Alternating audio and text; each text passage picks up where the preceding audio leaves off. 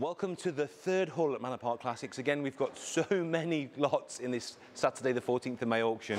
We're trying to split them up so you can see. This is, again, a car you won't see very often at auction in this kind of condition, if at all. This is a 1999 Vauxhall Tigra. Used to be, let's be honest, a little bit naff, but when you see them now, suddenly they've become incredibly cool, haven't they? It used to be a car for the ladies. Now I think as a man, even I'd be quite happy to drive this. This is done 32,000 miles. It's a special edition checkers model, one family owner from new, full book pack, just literally as it rolled off the showroom floor. The thing is mint, split mint. And this would be, let me have a look at the screen for you. We're estimating this car at just three and a half to four and a half grand. So if you really do want a showroom fresh Tigra, if you want that experience of driving off the showroom floor in 1999 with your fresh new Tigra, checkers edition, that's it, that's a really nice car that. Now this is a project, we've got quite a few projects, obviously lots of lovely cars that need nothing, just polishing petrol, but loads of cars, if you fancy adding some value yourself or having a bit of a project, something fun for weekends, I think this one, I think Lot 86 certainly falls into that category. This is a 71 Fiat 500L. I've done one of these on the show. I can tell you how much work is involved in getting a shell to this condition, and the nice thing is, somebody's done the hard work for you. It's a restored shell and all the parts to put a car together. It's basically, it's a giant Tamiya kit, isn't it? You're going to buy this, put it together over the course of several weekends. Obviously needs painting. Appears to be a rust-free body shell. I've had a good look. There's not a lot to do on this at all. Good panel fit. It's got a rollback roof, which is the proper pressing as well, not an aftermarket cut-in. And this is your chance to buy one of these and do the work yourself and add the value. You can get these up to 25 grand quite easily. This is going to be two and a half to three and a half for that kit of parts. You couldn't do the shell for that. So there you go. That's a great way to start a project. Disappear into the garage for many weeks. This I love, not least of all because of the way it's been presented. This is a 1951 Bentley Mark VI saloon, just had comprehensive body and mechanical restoration in the 1980s and then sat. Basically, the poor thing has sat. But it runs, requires recommissioning, it's got its original registration number, it's been in the current ownership since 1997, it's got this lovely factory sliding roof in metal as well, it's got working trafficators, original operating radio. So you could just go through this over a few days or send it to a specialist, have the car recommissioned. I think this paint, save for a few scratches, will come up rather nicely as well. And again, a lovely way to travel for an inexpensive amount for what it is. We're estimating this at somewhere between 10 and 14. And that probably when it's done could be easily be a 30, 40,000 pound car. And there's not massive amounts to spend on it. So another Bentley T1 for you. We've got two in this sale. This is a 1969 Bentley T1. As I say, I always think they're cooler and rarer than the Silver Shadow. So you've got the same basic shell, but you've got a much nicer grille. This has done 84,000 miles. It is, of course, an automatic, as they all are. Four former keepers. It's been in current ownership since 1980. So 42 years with the current owner. It does need a full restoration. This is a car for you to cherish, add value to, do some work. But it does seem to be all there. I think that's the thing we can say about this one. It's got all the bits there. It's got the original RAC pack. It's got the Lucas fog lights. It's got the companion mirrors in the back as well, and it's got the original sales and service book. It will be an inexpensive car, this one. It's going to be up for no reserve. So there you go. Come and bid, you set the price. But just cool. I would restore that in the factory colours. It's a particularly nice colour combination, that one. And yeah, just a lot of fun. A lot of expense to be had, but I think you can make that into a really nice car. This one now, everybody knows Mark 1 Scirocco, values are just going stratospheric. It's quite hard to find a car that's restored that's affordable. This one does need quite a bit of metal here and there. You are going to need to have either a mate that owns a body shop to make a nice car out of this or be a bit handy with a welder yourself. But it's a good, solid project. It's done 150,000 miles. It's a manual car, original interior, which is decent. The engine's very good and the car does run and drive. It's got this desirable short reg that comes with it as well. It's got MOTs going all the way back to 1987. So don't underestimate, there is some work to do on this.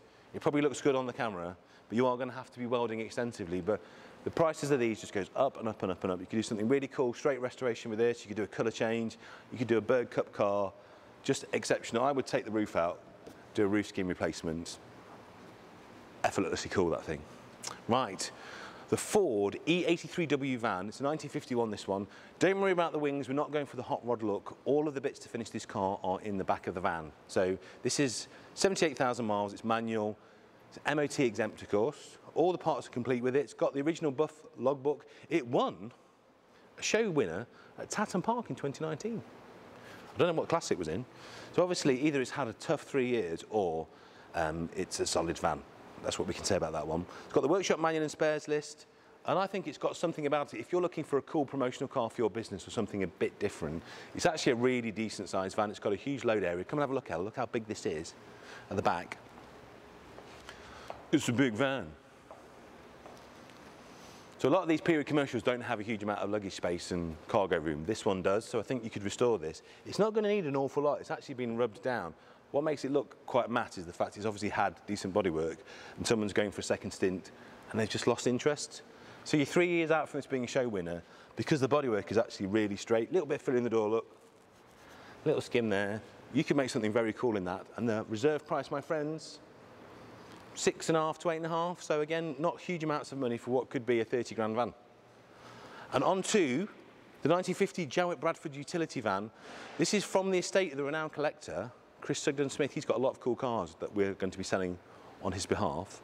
Only done 49,000 miles. It's got a flat twin. I don't know if you've ever heard one of these. They're really cool. 907cc engine. It's a matching numbers vehicle. Appears to be completely original. I can vouch for that. And it does need a full hit, basically. You can either run it with this lovely patina, or you're going to have to go through and sort it out. Obviously, a little bit of bodywork to do, a little bit of interior work to do. And again, price-wise, what can I tell you on that one? No reserve. We do like a no reserve car because anything goes, anything can happen. And again, another one from the same estate, 1936 Jowett van. This has done 71,000 miles. It's a manual car, another flat twin 907. And it's a 1936 number from Taunton, Somerset. Very cool original number. Do make sure that you keep them on if you do buy them because a lot of people take them off and sell them and you must never do that. Yeah, it looks like it's had a life inside, shall we say. Again, don't underestimate, if you want this to be a nice vehicle, you've got a lot of money to spend, but what a lovely, solid basis for restoration and recommissioning. This could be a really nice one. And again, no reserve.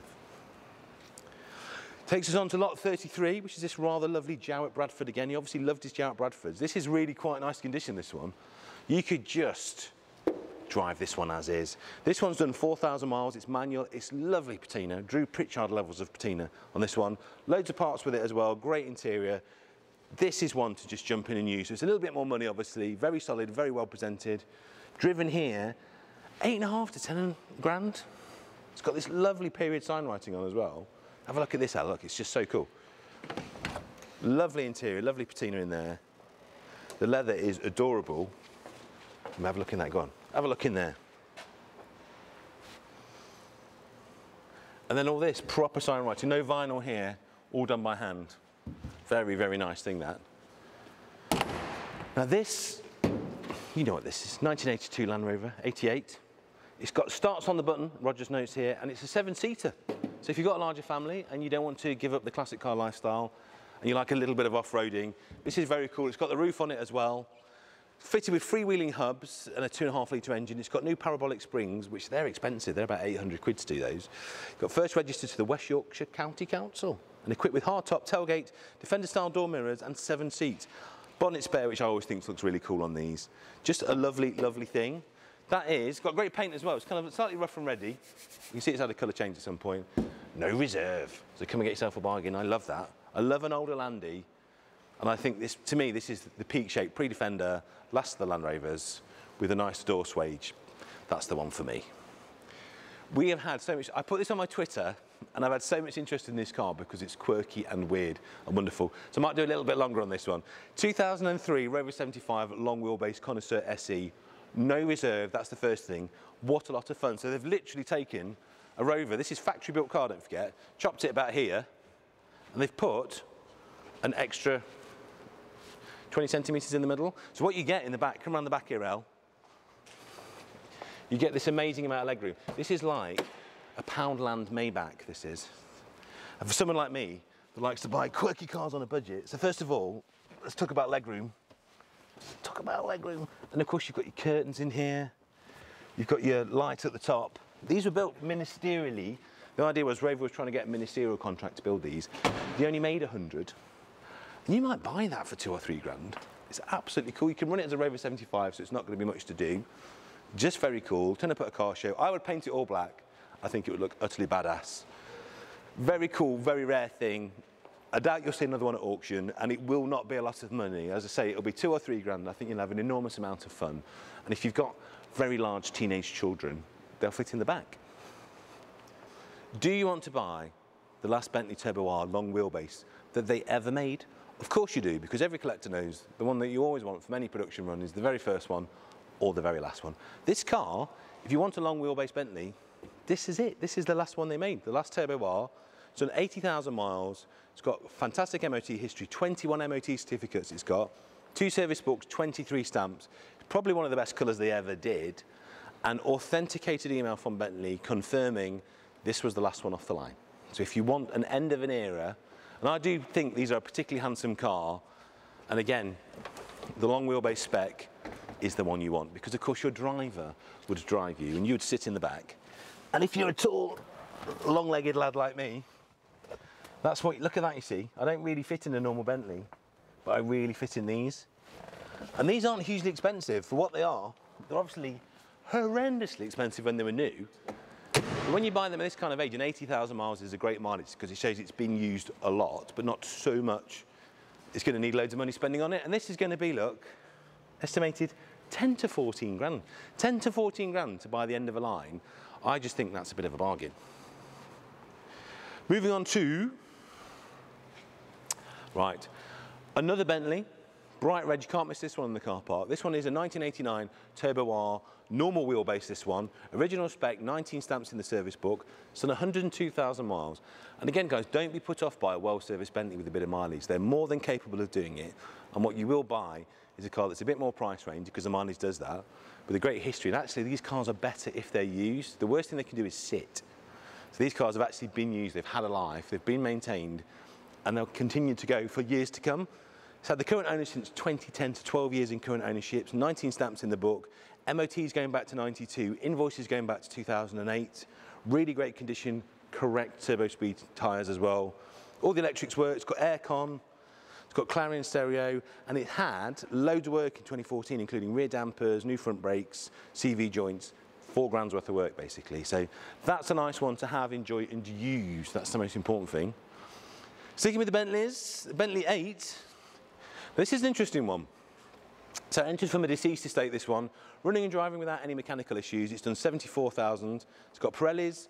The aircon blows ice cold. We've checked that as well. Private number plate stays with it. It's got lambs all over mats, the roof badges. It's only done 1,000 miles between 2006 and 2018. So it's been used very sparingly. One imagines it's been laid up. Tiny bit of micro blistering on the bonnet.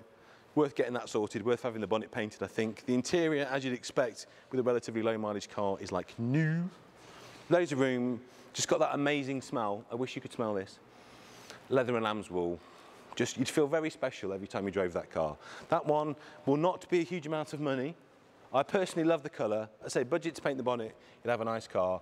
We've got that up at three and a half to four and a half. Just what a cheap smoker. I absolutely love it. Moving on to another great British luxury car. Jaguar XJ, 1975, 3.4, only four keepers, only 59,000 miles. To me, one of the most handsome Jaguars ever made, one of the best shapes they ever did. It's got these very funky period wind deflectors on. Like I say, four former keepers, original spec interior. It's got heated rear window, which was the thing back then, believe me. Original Clarion Jaguar radio and MOTs going back to 79. It's had all the hoses changed, new thermostat and water pump in 2019. The chrome is mint. And it's just a nicely historied car in a very cool, very period, very funky colour combination. And I just think you'd look quite a Bobby Dazzler driving that. Little touch of the, uh, the WAG, the 1970s WAG, that one. Got that estimated at five to seven. That just screams like a lot of car for the money to me. And don't they look good? And of course, this is what set the tone for all Jaguar styling for years to come because you can see, can't you? Look at the headlights, look at the swage, look at the sculpture. As we come into this, the later XJ6, the 3 litre V6 SE, 2003, no reserve, two former keepers this car, and it's had £12,000 spent on it in the last decade. It's got, what else has it got? New thermostat's just been fitted, diagnostics to the sum of £525, just been spent in March, highly spec from the factories of parking sensors, tilt and glide sunroof, 16-way front seats, and 12 stamps in the service book. So that is going to be a super cheap limo, really. If you want to smoke around looking like Lord of the Manor, you, or lady, to be fair, no reserve. Oh, the two most fatal words in any car collector's lexicon, offered with no reserve. There you go. Love it. Great colour choice and immaculate grey leather. I could see you in that. I could see you in that. I think one of the most beautiful Jaguars. Everybody raved about the E-Type. I prefer the XJS. Particularly this, it's a four litre, so of course it's the easier engine to look after. 134,000 miles, two previous keepers. It's a 1994. It's had the current owner since 2005. I love the colour, flamenco red. The leather is exceptionally good. Someone spent some money keeping that nice. Have a look in there, El. Because normally on a lighter beige interior on a Jag, they really go. And that one hasn't. Nine stamps in the book, an original book pack. You could probably spend a little bit of time and money just correcting the paint. The paint's very nice, but tiny bit swirly. I think you spent three, 400 quid doing paint correction on that. You would have a lovely car. And it's got the later facelift IAD back end as well, which I think looks really nice on these. That's a lovely car. Let's have a look at, let's have a look at the reserve on that. We are saying on this lot 88, come on, four to five grand. Four to five grand. You spend 500 quid on that, you would have an exceptional motor car and you would feel very special, very special driving that. That's one to have a bid on, I think.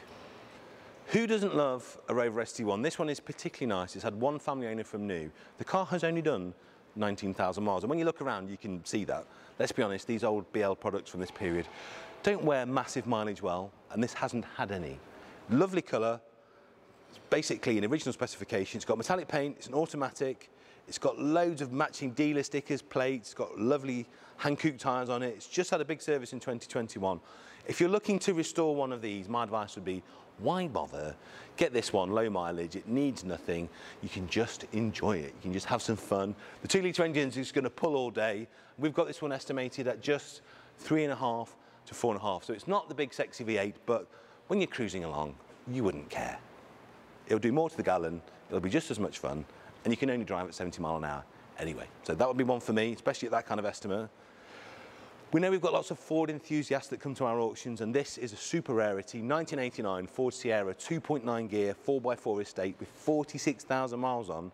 I can't imagine there's a lot of those for sale in the UK this year, never mind this week. It's a cool car, isn't it? So it's got original owner's handbook, original interior, three keys with the car. Ghia 4x4 is rocking horse poo. They never come up because they've all rotted, they've all gone on the arches, they've disappeared. There weren't that many people ordered it in period anyway, because that was a very expensive car. To order the estate with Ghia and 4x4 was an awful lot of money. If you're a true Ford collector, this is one that you want. And also, it's just a very practical car because you've got the estate, you've got five seats, you've got the 4x4 practicality, so you can drive it throughout the winter as well. Very, very cool thing. We'll have a look at the estimate on that one. Seven to eight grand. It's cheap fast forward, isn't it? You think if that was XR4i or any other badged Ford, look, it would be well into five figures. So I think that is cool car, very cool car. And I love the RS7 spokes on that as well. Can we talk about this next car? This is one of my favourites. Marina Coupe. The Marina gets a lot of bad press, completely unfairly, because I think they're very cool little cars. And I think the Coupe in particular is one of the more handsome offerings from the time. Just have a look at the proportions of this this lovely roofline, the two-door, it's got an Astrali wheel, someone's fitted some very cool Triumph Dolomite wheels, which of course, as we all know, car nerds, first production car alloy wheel to be fitted. What we can say, 1975, 1.3, only 59 of these left, guys. If you want a rare car to turn up at a car show, this is definitely it. Very rare, very good looking, love the dolly wheels. It's got the Astrali wheel inside. The interior is very cool, I have to say. Come and have a look at this, Al, because the interior is in good nick. You don't need to spend any money here. The paint, if I'm honest, is a little bit, needs a little bit. It's had some repairs. It could probably do with a really good wet, flat and polish, and you could probably make quite a nice car. I don't think it deserves a respray. It's not that bad, but I just think it wants a little tickle and a tidy. You'd maybe do something with the carpet, just get them a bit fitting a bit better around the door seal. But 59 Marina Coupes left. I think exceptionally cool. It's sitting properly, it's on the right wheels. You turn up at Retro Rides Gathering in this, instant kudos. I just think it's a very cool car for not a lot of money. I'm going to tell you how much money. Three and a half to four grand. Three and a half to four grand. That's not even the deposit on a PCP deal, is it, on a new car? So don't do that. Put four grand into this instead. It'll be much better money. The Austin All Aggro. Love them or hate them, I personally love them. I think they're absolute genius. I've had two. And this is really nice. My granddad always had an Allegro. That was his go-to car in the early 80s. This is an 81, 1.3L, 25,000 miles. We do like finding you these rare BL bits because we know you love them. And I'm sure you've all been reading the Classic Car magazine. Some of the highest percentage increases in the classic car market at the moment are BL cars. So they're not huge amounts of money to buy, but they're going up and up and up. And why is that? Because we all remember them. Our granddads had them, our dads had them, we had them as our first cars. So there's a huge affection for British Leyland products in the classic car marketplace. It's making them very good buys because again, usable classic, great spares, great owners club for these. This one's had two previous owners, got the book pack, the previous owner was a member of the Allegro Owners Club, so I'm sure if you ask them nicely, they'll introduce you. Loads of history, original in, original sales invoice even, and just a nice interior. It's worn very well, this car. God, this takes me back. This is exactly the spec my granddad had. So I like that car. That will only be a few thousand, and you could drive to Hagerty's Festival at the Unexceptional in that, and you'll be greeted like a god. So I would have a cheeky bid on that one. Pocket money fun, that one. Carrying on, this is really pretty, isn't it? This is very lovely. Nostin, do that again. Nostin. Here we go. This is very pretty, isn't it? 1951, Austin A40 Devon, starts on the button, completely ready to go. I think it couldn't be in a more attractive colour for me, couldn't be in more perfect condition for me. It's almost concours, but it's that lovely, usable, presentable perfection that isn't that you'd be scared to use it. You'd be happy to take this out, polish it on a Sunday morning, take it to a car show. It's the original spec interior. It's only done 39,000 miles, and that looks genuine, we think, on that one. It's just had engine work for 360 quid. I'll do that again, because it's not. It's just had engine work to the tune of 552 quid. It's just had four new tyres and tubes. Last year, 700 quid. Great chrome, great bodywork, just utterly charming and beautiful and locked as well. Elliot, come and have a look in here, look. You need to buy this car for the dashboard alone. Look at that. Isn't that beautiful? You feel very opulent in there. And again, all these lovely trims and surrounds. They made cars very differently then. And they do feel a little bit more special inside. There's a more sense of occasion getting into a 50s car, and that's particularly pleasant. But we're going to go pre-war now, keeping it Austin, but going the other side of the wall. Very attractive little 1936 Austin 10-4 Sherborne. Just had a retrim, and that's gorgeous how they've done that. Very in keeping. UK market home car, running and driving. It's got the opening screen you can see as well. It's got King of the Road Lucas headlamps. They weren't standard, but they're a fantastic upgrade. And it, doesn't it look good? And these cars to me represent something of a bargain at the moment. We've got this one listed at three and a half to four and a half. Pre-war stuff like this, the kind of relatively common stuff, they're not fetching enormous amounts of money. So if you're looking for a fun car that's great character, easy to maintain, lots of fun to drive, and this thing would bowl along at 50, 60, so you're not going to get stuck in traffic. But look inside, look at this retrim where someone has spent so much money having these seats done. It's absolutely beautiful, incredibly tasteful, sort of burgundy claret interior with the original wood dash. And you can just imagine yourself, can't you? Just tootling along in the summer to a car show with your family in the back, picnic in the boot. It doesn't get much better than that for four or five grand. Cheap car. Cheap car, my friends. Another Austin, this is the Austin section. A30, of course we all know how cool A30s are. Goodwood Revival has made this shape of car, the Austin A30 and the Austin A35, incredibly cool as a race car. You could have a very nicely presented road car. This is a 53, supplied new in South Africa and recently imported. What does that mean, my friends? That means exceptional bodywork. It means there's no rust, there's no rot. It's a really nice car. It's on 14,000. It presents beautifully, drives very well. We've spun it around the block and it's mega.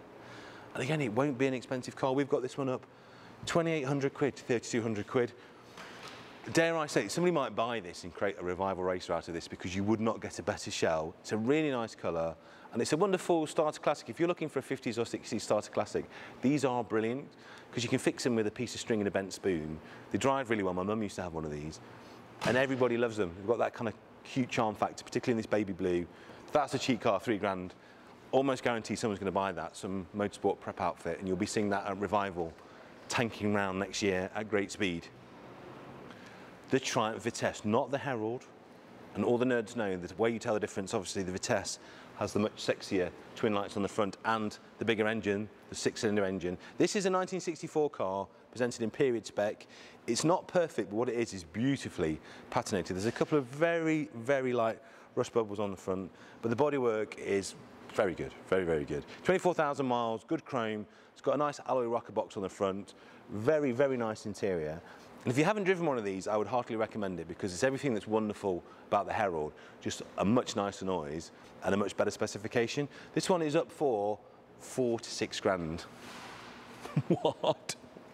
And it's kind of like the period sports car the time, I particularly like the colourways. Someone's gone a hat tip to Lotus Cortina here, haven't they? So you've got all of that fun, six-cylinder soundtrack, great sports wheel, really nice interior, wonderful colourways, and again, a really presentable but not perfect car that you'll just enjoy using every day and not worry about. That to me is a bit of a bargain. I do love that. Huge amounts of fun to be had. Moving on to one for the 90s kids. When did you last see a Ford Probe in any condition at all? A bit like the Tigra we've also got in the sale. This one is that thing we all want. The little old boy. He's had this from new 24,000 miles. Now this was a very controversial car when it came out because everybody wanted Ford to make another Capri and they didn't of course. They partnered with Mazda and created this instead. But I think actually kind of fast forwarding to today, these have gone through the point where they were worth nothing and nobody wanted them. All the rusty ones have disappeared. There are just a very few cherished number of these cars left and this is one of them owned by the vendor for 23 years. He has kept all 22 MOT certificates. It's completely original. There's a couple of very, very tiny imperfections in the paint. It's got brand new Continental tyres, all the books. It's got the original leather interior. And for a 16 valve car that you just never see him come up, if you want a little glimpse into 90s life, 1997, it is like travelling back in time. I remember sitting in a Ford showroom in the 90s looking at that interior, thinking how wacky it looked. And actually it's aged quite well, hasn't it? It's almost come back round into coolness. So that will be an interesting car. I'm very keen to see how much this goes for because they're quite hard cars to value because they never come up for sale. We've got this one down at a mere three and a half to four and a half grand. And I just think if you want a Ford Probe, you need nothing to do. And I love the fact it's got its period and original three spoke wheels on. That's a very cool car. What can I tell you about this car? I can tell you a lot about this car because I know this car very well. This is owned by my good friend James Clark, and James is a very senior bod at Toyota. And I actually went to fetch this car. When he bought this car, I went and fetched it with him. So I know everything about this car. It only has four former keepers, it's mechanically overhauled, and this is what I must stress on this car. If you're looking to buy a Reliant Scimitar, there are loads of problems that go wrong on these, not least of all things like the heater matrix, loads of mechanical maladies.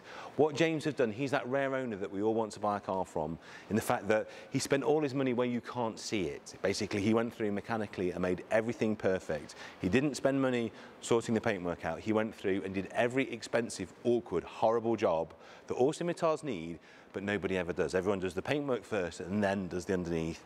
James did it backwards. So you have got a car here, the guys have all driven it, it's the best driving scimitar any of us have ever driven that just needs a tiny little bit of cosmetic love. So if you want a car that's all fun, all motion, all go, just drive it anywhere all day long, this is it. Matching Dunlops, James has put new tyres on it. It's had a stainless steel fuel tank put in. He's done all of the hard jobs. It needs a little bit of polish, tiny bit of paint, and you'll have a perfect car. And what could be better in none more 70s brown with brown interior? It drives mint. Don't be put off by the fact it isn't exterior perfection because mechanically where it matters, where the money should be spent, it really is. That's a great one to bid on. I think that'll be hopefully five and a half, six and a half grand, that kind of car. You can just add a little bit of touch yourself and make it yours and make it perfect. But can't stress enough, the hard work is done for you.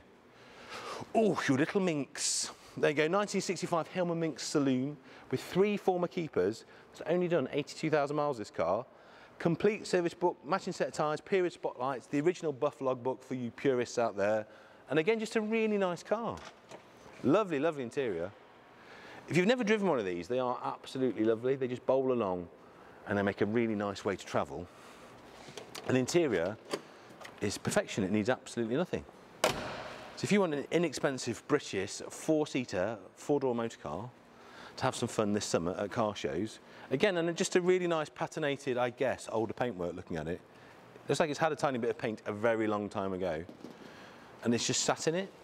So there you go. We've got a lovely Hillman Minx for you to come and purchase.